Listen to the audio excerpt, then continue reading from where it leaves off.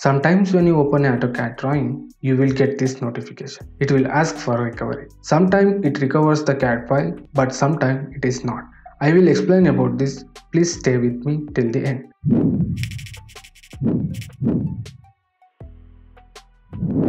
From this window, click on recovery. It will audit the drawing and you will get this notification after the complete recovery. Check this file once. If all the data has recovered, just click on save. If you are not satisfied about the recovery, please don't save the drawing. If you save it once, that will be the final recovered drawing. You won't get unrecovered data. So don't save this drawing. Go to File tab, right click on the file name, select Open File Location.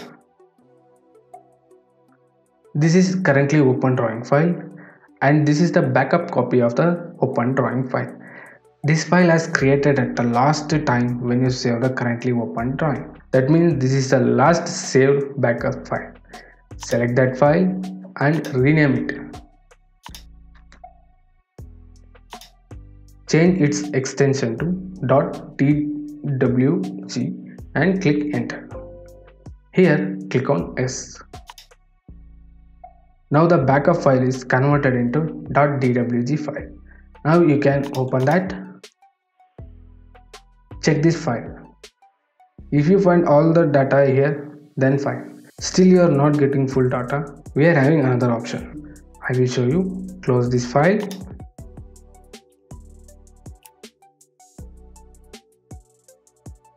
From start menu go to recovery. Here click on recover recover a damaged drawing file. Select the corrupted file and click, click on, on open. It will edit and delete the errors then click on OK. Like this you can recover our damaged files. I hope by these three methods definitely you will recover your corrupted drawing file. Thank you for watching till the end. Still you are not subscribed my channel, please subscribe the channel and don't forget to click on bell icon to get a best information about AutoCAD. Thank you for watching. Take care. Bye bye.